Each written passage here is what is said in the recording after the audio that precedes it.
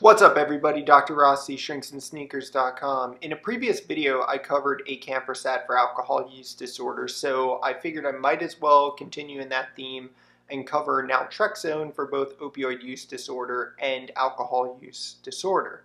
So let's start with the basics. What's the mechanism of action? What makes naltrexone useful in terms of alcohol use disorder and opioid use disorder? So what this medication is going to do is it's going to block mu opioid receptors. Now there's mu, there's kappa, and there's lambda opioid receptors. This one specifically this medication is going to be specifically blocking those mu opioid receptors. So it's a mu opioid receptor antagonist, which will of course prevent the binding of exogenous opioids from binding to the mu opioid receptor. So basically, if I were to take some type of oral opioids or something like that, and I was also taking naltrexone, the naltrexone would prevent the the feel the euphoria and this and all and block those receptors, preventing any of the normal response that one would have to opioids. So that's how it works with the opioids. For alcohol, it's a little bit different. So what naltrexone does for alcohol is it reduces alcohol consumption through modulation of the opioid system. So a slightly different way.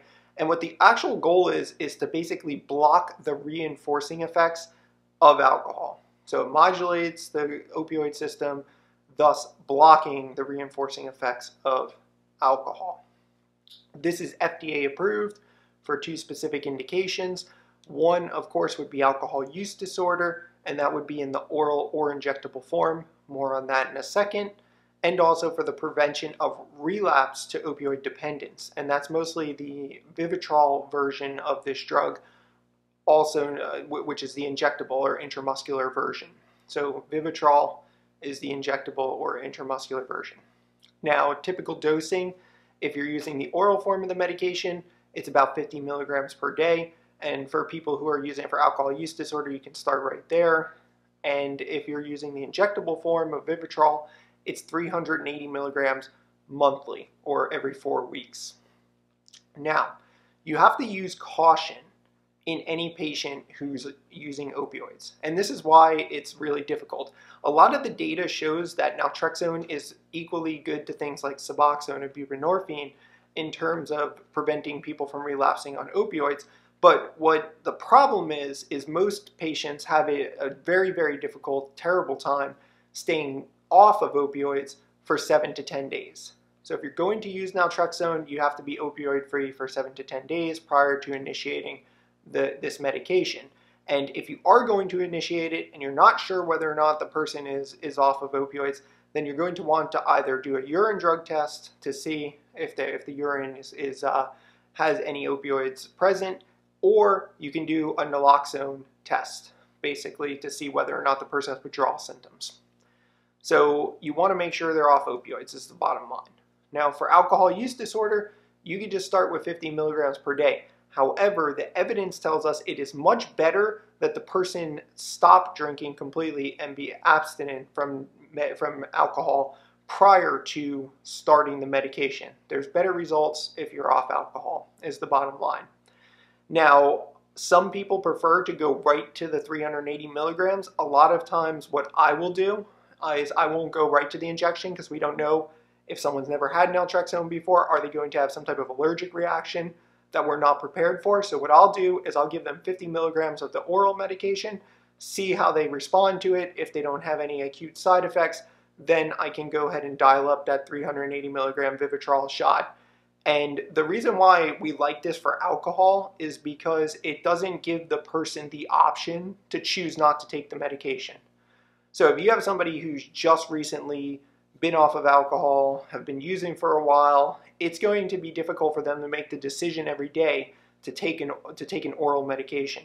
If you start with the Vivitrol injection, it doesn't allow them that opportunity to have to make a decision 30 times right, in a, in a 30 day period, um, whether or not to take the medication. So this eliminates that thought and that problem.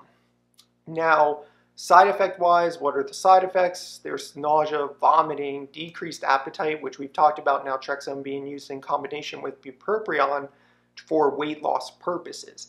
So naltrexone bupropion is a weight loss drug, and um, and so decreased appetite naturally would be one of the potential side effects. Other things that you want to watch out for is what could be life-threatening called hepatocellular injury. So what that basically means is that you can get liver damage if you take too much of this medication. So overdoses can cause liver damage. But in general, when you're using in the proper dose range and the person doesn't have a pre-existing liver condition, this should be perfectly fine. Now, who is this good for? You might be saying, who, who would benefit from this? So basically, those that are ready to abstain completely from alcohol is going to be one of your best patients for this medication. So as I said before, the data indicates it works better when uh, people are fully off of alcohol and not using alcohol uh, in any form. Now, the other group that this could be beneficial for is those who are binge drinkers. So if you want, if you have somebody who has trouble with binge drinking, then this could also be a useful medication. Now, there's good evidence, and the reason behind that is because there's good evidence to support the fact that this reduces the number of heavy days of drinking. So someone is drinking heavily, this medication, naltrexone, will reduce the number of days of heavy drinking. So that's why binge drinkers might benefit from this medication. There can be, in some cases, apathy or depression or loss of pleasure. Now that will make sense to you because our opioid receptor system in our body has something to do, obviously, with pleasure, and that's why people use these drugs in the first place is because it does offer a sense of euphoria and feelings of pleasure. So it would naturally um, seem it would seem natural then that if you're blocking those receptors, you may get some dysphoria. So that's something to be mindful of and to watch out for when using this medication chronically for long-term for long-term uh, use. Now, the only other point I want to make about this drug is, like I said, because one of the side effects is decreasing appetite, you can use naltrexone in combination with bupropion for weight loss, and there's a specific medication that combines both of those together to create a weight loss medication. So if you have somebody who's worried about weight gain, this also could be a reasonable medication. With that said, I hope this is helpful. I hope this is valuable to you guys. Hopefully I covered enough about naltrexone. If you have questions or comments about this medication, drop them below. And if you want to see more uh, substance use related videos, I will continue to make more content.